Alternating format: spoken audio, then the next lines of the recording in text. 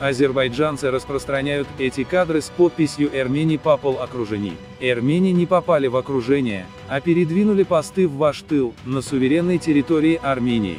Ваши посты, которые были установлены в мае месяце у Черного озера взяты в блок с двух сторон. Локация, на которой снимает автор этого видео, это территория Санасара, Кубатлы, чуть ниже стоят, ваши майские посты. Никто не находится в окружении. Отметим еще раз. В воскресенье Армении установили пост, фортификационные работы уже идут, за постом азербайджанских воскресенье, который находится на суверенной территории Армении еще с весны. По сути, армянский пост находится в тылу сил противника, которые весной проникли на суверенную территорию Армении. Если говорить про окружение, то как армянский пост сейчас находится между двумя азербайджанскими постами, так и азербайджанский пост находится между двумя армянскими. И все это на суверенной территории Армении.